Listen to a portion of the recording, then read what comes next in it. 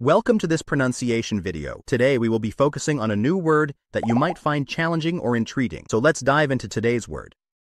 Charging, which means supplying energy to a battery or device via electrical current. Let's say it all together. Charging. Charging. Charging. One more time. Charging. Charging. Charging.